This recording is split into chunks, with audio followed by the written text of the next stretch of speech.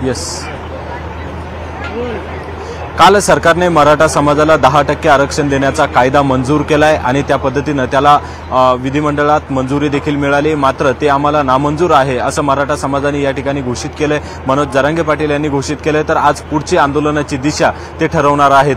संपूर्ण मराठा समाजाला या ठिकाणी मनोज जरांगे पाटील यांनी आज आव्हान या ठिकाणी येण्याचं केलं होतं. त्या त्याच अनुषंगाने आपण जर बघितलं तर महिला असतील पुरुष असतील संपूर्ण मराठा समाज या ठिकाणी आंतरवली सराटीमध्ये सकाळपासून किंवा रात्रीपासूनच दाखल व्हायला सुरुवात झाली होती. आणि आपण जर बघितलं तर आता हा पूर्ण मंडप मराठा समाजाने किंवा जे काही भगिनी असतील बांधव असतील यांनी पूर्ण हा पेंडॉल भरलेला आहे. आणि जरंगे पाटील आता इथून पुढे त्यांना काय सांगतात आंदोलनाची दिशा काय असणार आहे हे कळणार आहे. मात्र त्यांच्याकडनं जाणून घेऊयात त्यांच्या काय भावना आहेत कशासाठी ते इथं आलेत काय सांगाल कशासाठी तुम्ही इथं आला आहात आणि काय पुढची आंदोलनाची दिशा असणार आहे? पाटील जे सांगतील ते धोरण आणि बांधतील ते तोरण या उद्देशाने सर्व मराठा समाज महाराष्ट्रातून पूर्ण एकवटलेला आहे.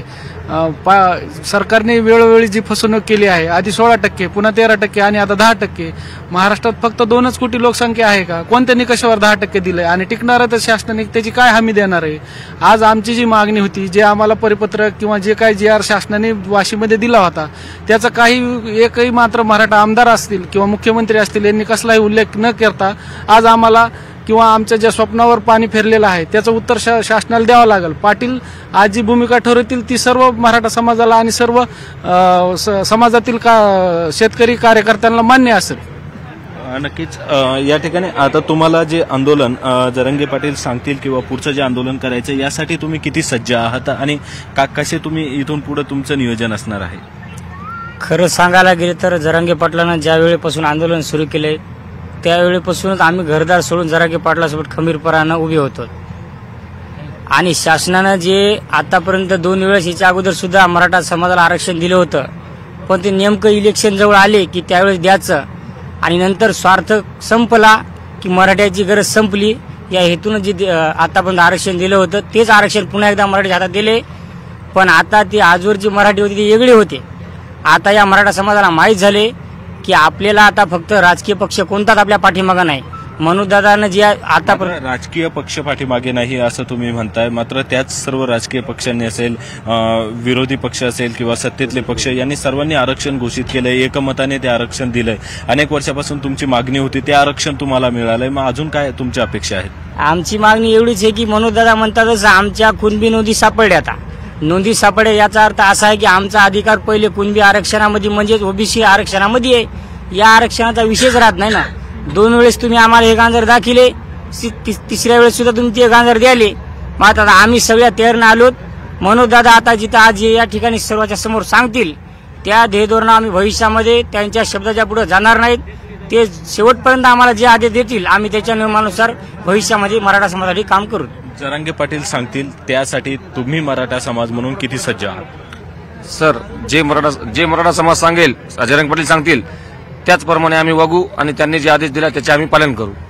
नक्कीच आपण जर बघितलं तर या अगोदर देखील मराठा समाजाला आरक्षण देण्यात आलं होतं आणि ते आरक्षण टिकलं नाही तर मग आम्हाला ते आरक्षण आता नकोय. आम्हाला जे आरक्षण हवंय ते आरक्षण जी मागणी जरांगे पाटील यांनी केलेली आहे सगळे सोयरेचा कायदा मंजूर करावा आणि त्यातून ते आरक्षण द्यावं म्हणजेच ओबीसीमधून हे संपूर्ण आरक्षण मिळणार आहे. आपण जर बघितलं तर मी दाखवण्याचा प्रयत्न करतो. एका साईडला मंदिर आहे त्या मंदिराच्या वरती देखील मराठा समाज या ठिकाणी बसलेला आपल्याला दिसून येतोय. जो पेंडॉल या ठिकाणी टाकण्यात आलेला आहे जो मंडप टाकण्यात आलेला आहे. त्यामध्ये देखील संपूर्ण मराठा समाजाने आता हा पेंडॉल जाम झालेला आहे. एकूणच जरांगे पाटील यांच्या आव्हानाला प्रतिसाद आपल्याला या ठिकाणी पाहायला मिळतोय.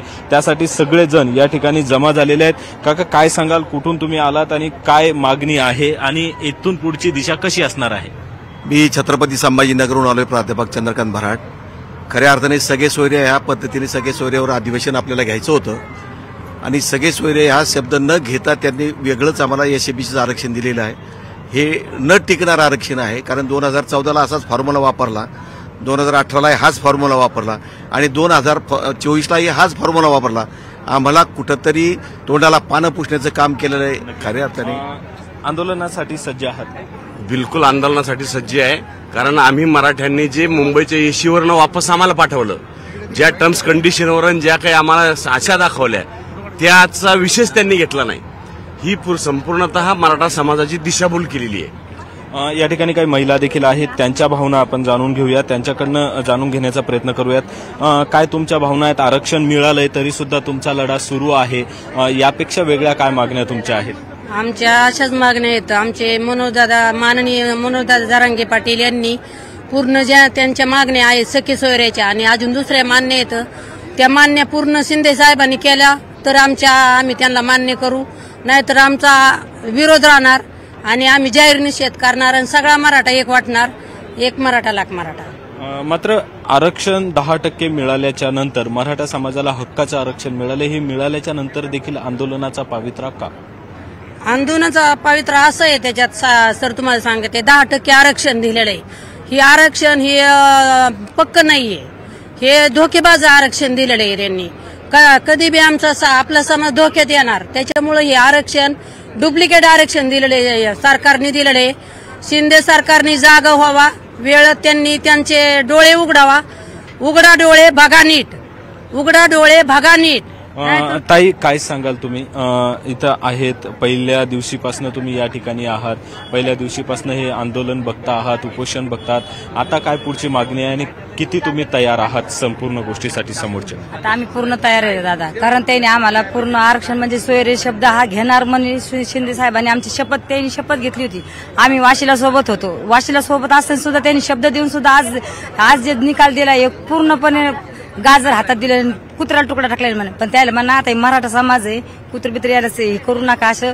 तुम्ही जेवढे आंदो आम्हाला जितकं काही आता विलंबित करणार आहे तितके तुमची काय दशा होणार आहे बघा म्हणा आता. पुढचे आंदोलन आता ठरणार आहे तुमच्यासोबत चर्चा करून तुमची काय मागणी त्यांच्याकडे असणार आहे कसं आंदोलन असायला पाहिजे म्हणून? आमची ते एकदम शांततेतच असणार आहे पण शांततेत ते पेलणार नाही त्यांना झपणार नाही त्यांना पहिल्यापासून सांगतो तो आम्ही दादा. आंदोलन शांततेत आहे तर मग सरकारनं पेलणार आणि झपणार कसं बघा ना नाही? दिसेल ना पुढे पुढे होत आहे क्या आहे पिक्चर अभी बाकी आहे अभी दिखाना आहे ना वही तर दिखाना आहे.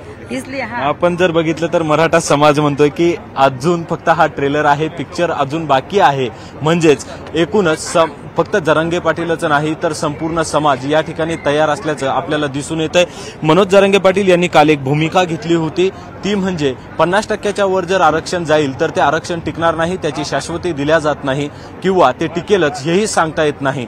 त्यामुळे मराठ्यांना पन्नास टक्क्याच्या आत जे आरक्षण आहे जो सगळे सोयर शब्द आम्ही सांगितलाय सगळे सोयऱ्या सोयऱ्यांचा कायदा करावा त्या अधिसूचनेचं कायद्यात रूपांतर करावं आणि त्यातून ओबीसी समाजातून आम्हाला आरक्षण मिळेल आणि तोच कायदा आम्ही यशस्वी मानू आणि तेव्हाच आमचं आंदोलन आम्ही मागे घेऊ आमचं उपोषण त्याच वेळेस बंद करू. मात्र एकूणच आता यावर सरकार काय निर्णय घेते हे पाहावं लागणार आहे. एकूणच दहा टक्के आरक्षण मिळाल्यानंतरही मराठा समाज या ठिकाणी नाखुश असल्याचं आपल्याला दिसून येत आहे कारण की निवडणुकीपुरतं हे आरक्षण असू शकतं अशा त्यांच्या भावना आहेत. तर दुसरीकडे सरकारने सांगितलंय की आम्ही दिलेला शब्द पाळलाय. आता मराठा समाजाला सरकारने देखील आवाहन केलेलं आहे शांततेत घेण्याचं. त्यामुळे आता मराठा समाज या ठिकाणी बैठक थोड्याच वेळात जरांगे पाटील देखील या ठिकाणी आहेत. थोडं संपूर्ण मराठा समाज या ठिकाणी आलेला आहे. यांचं सगळ्यांचं ज्यावेळेस बैठक होईल किंवा बोलून होईल त्यावेळेस काय आंदोलनाची पुढची दिशा ठरते हे पाहावं लागणार आहे. कारण म- जरांगे पाटील यांनी जर आपण सकाळी त्यांची प्रतिक्रिया बघितली तर हे आंदोलन कायमस्वरूपी असणार आहे. म्हणजे आता जे आंदोलन सुरू असणार आहे हे कायमचं असणार आहे कायमस्वरूपी असणार आहे. आणि आता आम्ही आरक्षण घेतल्याशिवाय आम्ही म्हणतो ते आरक्षण.